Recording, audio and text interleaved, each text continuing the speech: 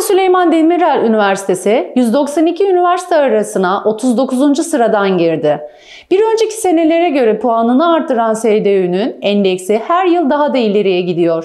Bilimsel yayın sayısı, fikri mülkiyet havuzu, işbirliği ve etkileşim ile ekonomik ve toplumsal katkı gibi 23 göstergenin temel alınarak hazırlandığı endekste SDÜ, bilimsel ve teknolojik araştırma yetkinliği puanı 6.66, fikri mülkiyet havuzu puanı 3.63, işbirliği ve etkileşim puanı 11.75, ekonomik ve toplumsal katkı puanı 18.67 olmak üzere toplam 40.71 puanla 39. oldu.